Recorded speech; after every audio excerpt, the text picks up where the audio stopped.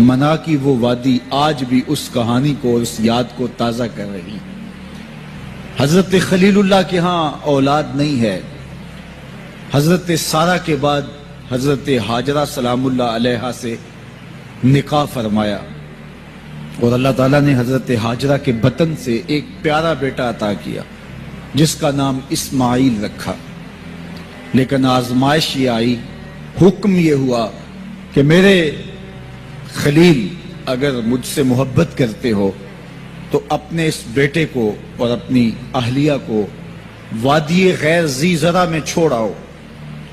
और अल्लाह के हुक्म की तामील करते हुए अपनी जोजा को और अपने नौनहाल बेटे को वहाँ छोड़ आए। फिर तेरह साल की उम्र को जब हज़रत इस्माइल पहुँचे तो हज़रत खलीलुल्लाह मिलने गए, एक ख्वाब देखा। ख्वाब में क्या मंजर था कि मैं अपने बेटे को जबा कर रहा हूँ? अल्लाह अकबर। ये कोई आसान काम नहीं था, लेकिन नबी का ख्वाब मंजलाए वही होता है। हमारे ख्वाब शैतानी वसवसे भी होते हैं, उलझे हुए ख्यालात का अक्स अदगास अहलाम भी होते हैं, और हमारे कुछ ख्वाब अच्छे भी होते हैं। नबुवत का छियालीसवां हिस्सा भी ख्वाबों को कहा गया है, अच्छे ख्वाबों को। लेकिन नबी का ख्वाब महज खैर पर मुश्तमिल होता है और शैतान के वसवसे का नतीजा नहीं होता। ये अल्लाह की तरफ़ से नबी को इल्का की गई बात होती है। अब हज़रत इब्राहिम सलाम को ख्वाब ये आता है कि मैं अपने बेटे को जबा कर रहा हूँ। तेरह साल का नौ नहाल बेटा और बेटा भी वो जो अल्लाह से दुआएँ मांग मांग के लिया गया। हुक्म है कि इस बेटे को मेरी रिजा के लिए जबा कर दो। अल्लाह अकबर। हज़रत खलीलुल्लाह उठे, बेदार हुए और इस ख्वाब की तकमील के लिए आमादा हो गए। अपनी जोजा से कहा जोजा मोहतरमा हज़रत हाजरा सलामुल्लाह से कहा कि बेटे को तैयार कर दो, दोस्त की दावत पे ले जाना है। खलील अरबी में दोस्त कहते हैं और अल्लाह ने हज़रत इब्राहिम को खलीलुल्लाह अपना दोस्त करार दिया था। तो कहा, दोस्त के बुलावे पे जाना है, दोस्त की दावत पे जाना है तो बेटे को तैयार कर दो। हज़रत हाजरा शहजादे को तैयार कर देती हैं। मांग सजाती हैं, तेल लगाती हैं, खूबसूरत कपड़े पहनाती हैं। बेटा तैयार होता है और बाप अपने बेटे को लेकर के मना की वादी की जानब बढ़ता है। शैतान समझा कि ये मौका कितना नाजुक है। और अगर ये कुर्बानी हो गई तो कयामत तक आने वाले लोगों के लिए ये नमूना होगी। इतना बड़ा ईसार तो हज़रत इब्राहिम के पास पहुँचा और कहा, ए खलील, ए इब्राहिम, अल्लाह को राज़ी करने के और थोड़े मौके हैं और थोड़े ज़रिए हैं। ज़रूर बेटे को ही जबा करके अल्लाह राज़ी होता है। तो हज़रत खलीलुल्लाह ने कंकर उठा के उसको मारते हुए कहा, भाग जाए यहाँ से मेरी गोद में एक इस्माइल है, अगर हज़ार इस्माइल भी होते, रब के हुक्म पे कुर्बान कर दे। हज़रत इस्माइल के पास आया, तुम्हारा बाप तुम्हें कहाँ लेके जा रहा है? कहा, दोस्त की दावत पे। उनके दोस्त ने बुलाया है, उस दावत पे हम जा रहे हैं। कहा, नहीं नहीं, तुम्हें जबा करना चाह रहा है, और इसको अल्लाह का हुक्म समझ रहा है। तो आपने भी पत्थर उठा के मारा, कहा, हट जा मेरे रास्ते से। इस्माइल के बदन में एक जान है लू लू में भी जान होती। रब के हुक्म पे कुर्बान कर देता। माँ की ममता बड़ी कमज़ोर होती है। औलाद के लिए उसके जज्बात बड़े हसास होते हैं। तो सैदा हाजरा के पास आ पहुँचा। कहा, हाजरा, शहजादा किधर है? कहा कि, बाप बेटे को लेकर के दोस्त की दावत पे गया है। कहा कि वो तो जबा करने ले जा रहा है। कहा, कोई सोच के बात कर। वो बेटे को जबा करेगा, जिसको अल्लाह से मांग मांग के लिया बुढ़ापे का सहारा असाए पीरी, रातों के रत जगे, सिस्कियाँ, आहें, और दुआएँ और इल्तजाएँ और तमन्नाएँ अल्लाह के हुजूर कर करके रब से मांग मांग के बेटा लिया, और उसको अपने हाथों से जबा कर देगा। बेटा तो नालायक भी हो तो कोई बाप उसे जबा नहीं करता। ये ये बेटा इसकी आँखों में तो नूर और चमक और रोशनी, नबुवत की नज़र आ रही है। भला बाप कैसे जबा करेगा? तो कहा, वो इसे अल्लाह का हुक्म समझ रहा है। कहा अच्छा। कहा, हाँ। तो हज़रत हाजरा ने कहा, जालिम, तू कहीं शैतान तो नहीं है? मेरी गोद में आज एक इस्माइल है। अगर रब का हुक्म है तो हज़ार इस्माइल भी होता तो कुर्बान कर माँ की ममता पे कुर्बान जाइए, बेटे की वफादारी पे कुर्बान जाइए। और बाप की, अल्लाह के हुक्म की तामील और ईसार के जज्बों पे कुर्बान जाइए। जब वादी मना में पहुँचे तो हज़रत इस्माईल सलाम को हज़रत खलीलुल्लाह ने कहा, या बुनैया, ए मेरे बेटे, कितना दिल आवेज लहजा है, कितना प्यार टपक रहा है। ए मेरे बेटे, मैंने ख्वाब देखा है। ख्वाब क्या देखा है? कि मैं ये ख्वाब देख रहा हूँ कि मैं तुझे जबा कर रहा हूँ। फनजुर माजा तरा, अब तू बता तेरी राय क्या है? बाप बेटे से कहे कि मैं तुम्हें जबा कर रहा हूँ तो बेटे का अंदाज क्या होगा? आज तो बाप किसी बेटे को ज़्यादा मोहब्बत से नवाज़ दे तो दूसरे बेटे शिकायत को ना हो जाते हैं कि हमारा बाप जालिम हो गया है। किसी वजह से किसी को तरजीह दे दे अपने माल में से किसी को कुछ ज़्यादा दे दे। और वो उसका इख्तियारी माल हो। लेकिन इसके बावजूद भी वो अपने चचाओं को, अजीजों को, रिश्तेदारों को कहते हैं, जनाब, हमारा बाप मुनसिफ नहीं रहा, हमारा बाप ज्यादती कर रहा है। यार, यहाँ बाप बेटे को कह रहा है कि, बेटा, मैं तुझे जबा कर रहा हूँ, बेटे के तेवर नहीं बदलते। ये फैजान नज़र था, या कि मकतब की करामत थी।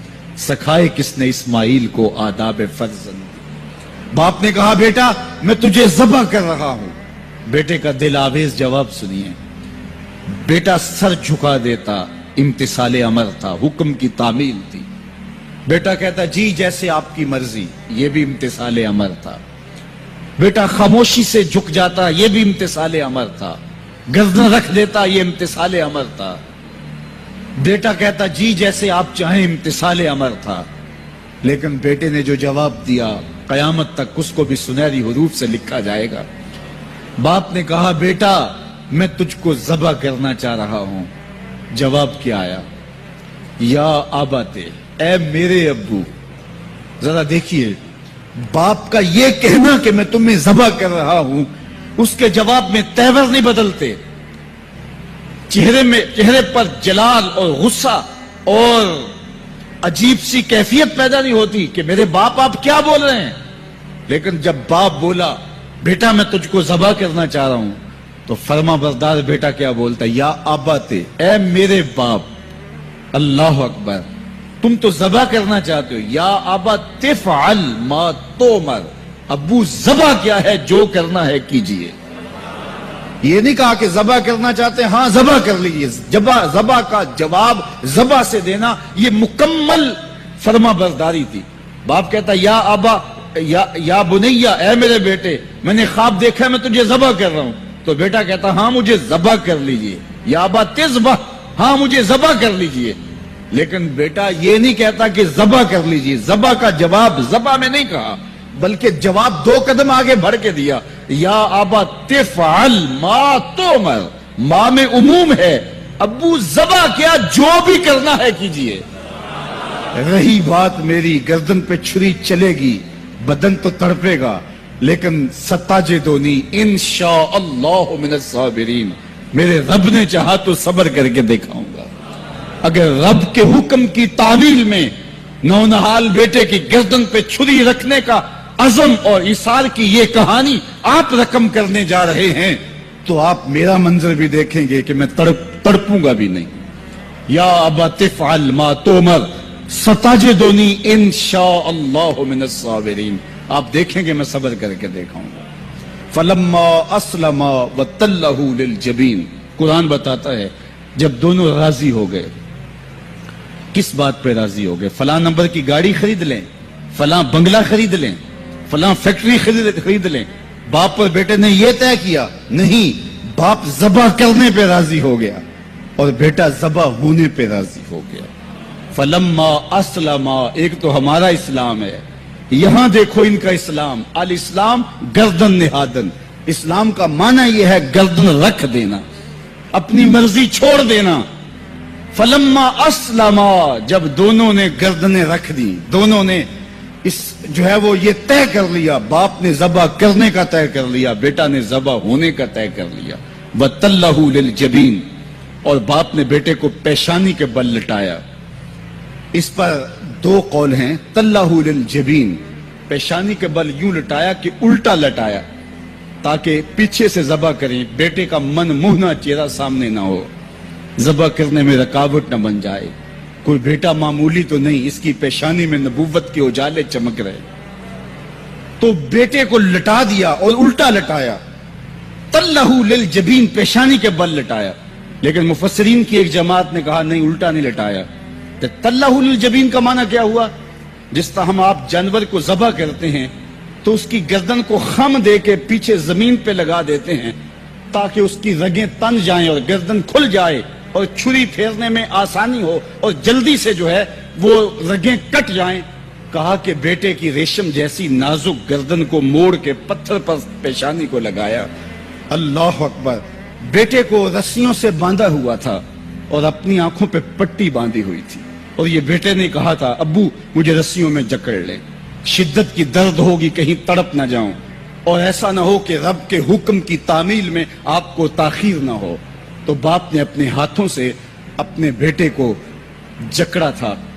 लेकिन जू ही छुरी पकड़ के बाप बेटे को जबा करने लगा। बेटे ने आवाज़ दी, अब्बा जान, रुक जाइए। क्यों बेटा? प्रोग्राम तब्दील हो गया। कहा नहीं, ये मेरी रस्सियाँ उतार दीजिए। बेटा, क्यों उतारूं? खुद तो कहा था मुझे रस्सियों से जकड़ लो। अब्बा जान, मेरी रस्सियाँ उतार दीजिए। कहीं कल का मुर्ख ये ना लिखे, बाप जबा करना चाहता था, बेटा होना नहीं चाहता था। बाप ने बाँध के किया, खोल दीजिए रस्सियाँ, नहीं तड़पूँगा। अल्लाह अकबर, रस्सियाँ खोल दी जाती हैं। कायनात ने ऐसा मंजर कभी देखा नहीं था। चश्मे फलक ने ऐसा नज़ारा कभी किया नहीं था। वना, मना की वादी है। फौलाद जैसे पिघले हुए पहाड़ हैं। आसमान से फरिश्ते भी झुक झुक के हुरे गिलमान और रिजवान जन्नत भी देख रहे हैं। मालक कयामत आने वाली है। कहा, फरिश्तों, तुमने कहा था इंसान को खलीफा बनाया जा रहा है। ये तो लड़ाई करेंगे, सजदे तो हम करेंगे। जरा मेरे बंदे की इस अनोखी अदा को भी तो देखो। लाओ सारे सजदे, अपने कयाम लाओ, अपने रकू और अपने सजूद लाओ और मेरे बंदे के जज्बा ईसार के मुकाबले में रखो।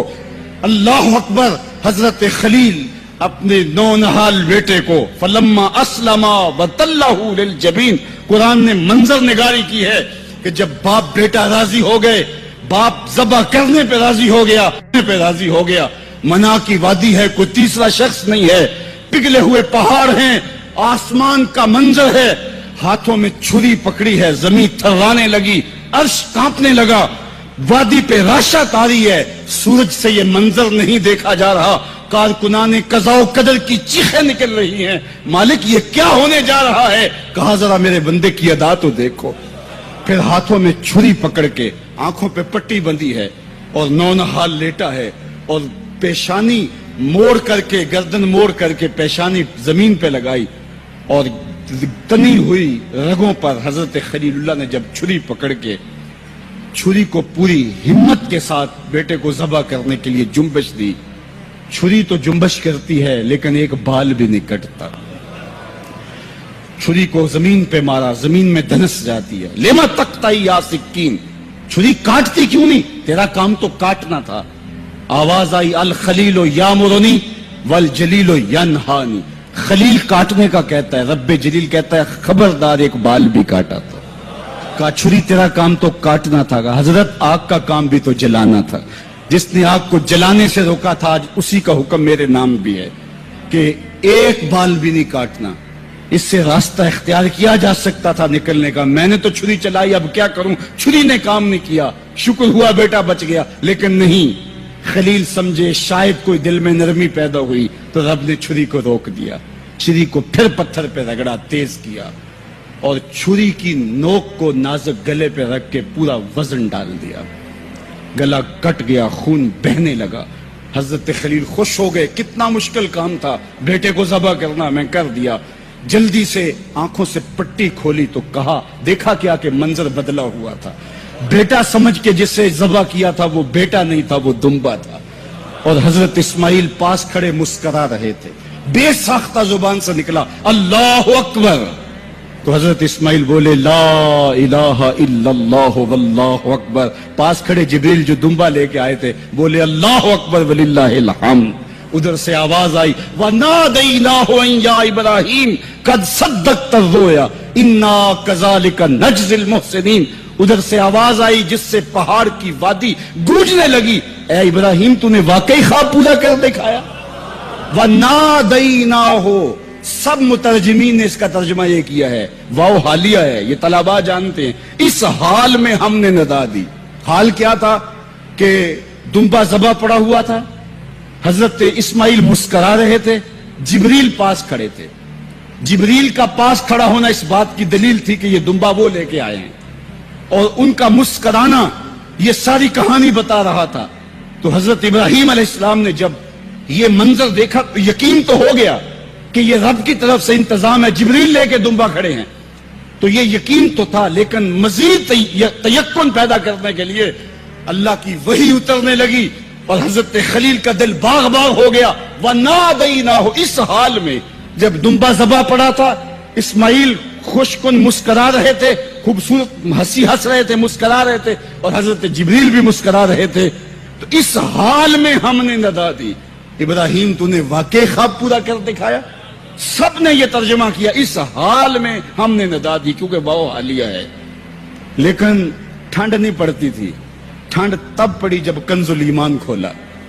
तो मेरे इमाम ने इसका जो तर्जुमा किया, आप अशश कर उठेंगे। सबने कहा, इस हाल में हम नदा दी कि इब्राहिम, तूने वाकई ख्वाब पूरा कर दिखाया। लेकिन आला हज़रत, जिसने, जिन्होंने कुरान का तर्जुमा ही नहीं किया, कुरान की तर्जुमानी भी की है, उन्होंने इसका तर्जुमा किया। वह ना दई ना या इब्राहिम। ए मुखातब, उस मौके का हाल ना पूछ, जब हमने नदा दी फिर क्या आलम हुआ कि जब हमने आवाज़ दी, यकीन तो पहले ही पैदा हो चुका था, लेकिन जब वादी वही के उजालों से चमकने लगी और हर समत वही का नूर फैल गया, फिर क्या हाल हुआ हज़रत खलील का? ए मुखातब, फिर उस मौके का हाल ना पूछ। जब हमने नदा दी, ए इब्राहिम, तूने वाकई ख्वाब पूरा कर दिखाया? इन्ना कजाल का नजल मोहसिन हम नेकोकारों को यूँ ही जजा देते हैं। हम आपका बेटा तो नहीं लेना था।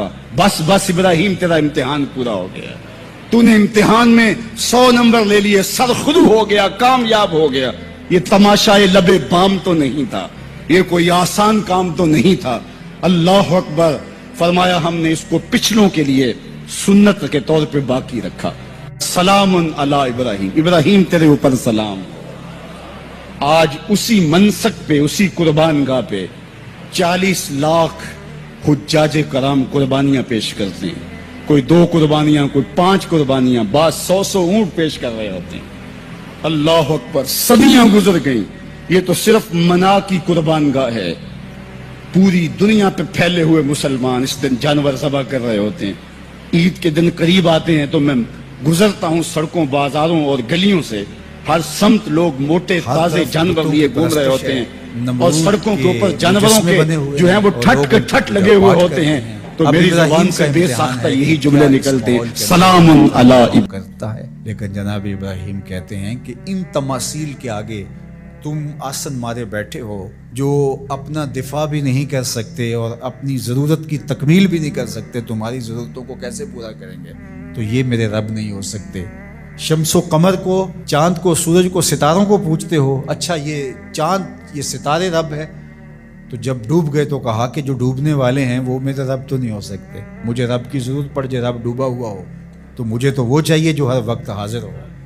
तो मैं तो उस रब की पूजा नहीं कर सकता। ये उनके शौर का इम्तिहान था और उस शौरी इम्तिहान में पूरे निकले। फिर उसके बाद अगला इम्तिहान था कि वो उस शौर को बयान करने की ताकत भी रखते हैं कि नहीं। फिर बुत कदा टूटता है, नमरूद का दरबार सजता है और वहाँ जो खुतबा हज़रत इब्राहिम ने दिया, ज़माने ने सुना। जब कुल्हाड़ा उस बड़े बुत के कंधे पे रख दिया और बाकी सारे बुतों का तिया पांचा करके रख दिया, जब वो मेले से वापस आए तो इब्राहिम बड़ी बेनियाजी से बोलते, इनके बड़े ने किया होगा। देखो, असला तो उसी के कंधे पर है। तो वो कहने लगे, इब्राहिम, तू जानता है ये बोलते नहीं और हज़रत इब्राहिम यही तो लाना चाहते थे। फिर जो खुतबा दिया, उफ़िल्लकुम वाले माताबुदूना मिन अफला अफसोस है तुम्हारे ऊपर, और अफसोस है उन पर जिनको तुम अल्लाह के अलावा पूछते हो। अफला ताकिलून, तुम्हारी खोपड़ी में दिमाग नहीं है? और फिर अल्लाह की तोहीद का बयान फरमाया। फिर उसके बाद जान का इम्तिहान आया। तो फिर जलते हुए शोलों के अंदर जिस तरह हंस के दाखिल हुआ पैगंबर ये अलग और निराली शान थी। नमरूद ने सोचा था, जल के राख हो गया होगा चिखा में। लेकिन 40 दिन के बाद जब आग बुझती है तो हज़रत इब्राहिम अंगारों से चलते हुए यूँ बाहर आते हैं, जिस तरह फूलों पर कोई नाजनीन चल के आ रहा फिर सतासी साल उम्र है, अल्लाह ताला फिर हज़रत हाजरा के बतन से हज़रत इस्माइल की सूरत में औलाद अता करता है। अब इतनी बुढ़ापे की उम्र में औलाद नसीब हो तो इंसान का जी चाहता है सारे काम काज छोड़ के घर बैठ जाऊँ, और मैं अपनी औलाद के चेहरे की बलाएँ लूँ। लेकिन हुक्म होता है अपनी जोजा को भी और अपने नौ मौलूद बेटे को भी। ऐसी वादी में छोड़ाओ जहाँ कोई सब्जा भी नहीं होगा। अल्लाह अकबर। फिर इस्माईल इस्लाम की एड़ियों के रगड़ने से जमजम जारी होता है। अब ज़रा देखिए, एक ऐसा इम्तिहान आता है, अगर को हमालिया पे भी डाल दिया जाता, उसका पिता भी पानी हो जाता। फलम्मा बाला का माँ हुसाया जब वो उनके साथ चलने फिरने के काबिल हुआ। इब्राहिम अलैहिस्सलाम ख्वाब देखते हैं। और ख्वाब क्या देखते हैं कि मैं बेटे को ज़बा कर रहा हूँ। फलम्मा असलमा, जब दोनों राज़ी हो गए, बाप ज़बा करने पे और बेटा ज़बा होने पे। अब बाप की आँखों पे पट्टी बंधी है। हाथ में छुरी है, सौ साल का बूढ़ा बाप, जबले सुबैर का दामन मना की वादी।